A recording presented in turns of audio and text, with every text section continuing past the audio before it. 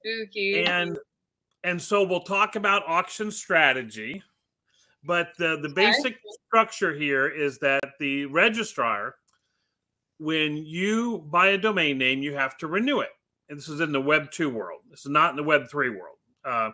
Shout out to our sponsors, Freename. Thank you so much for giving us domains with no renewals, for being able to own TLDs with no renewals, to be able to have our own registrar where we sell our own domain names and our own TLD, and we get half the revenue.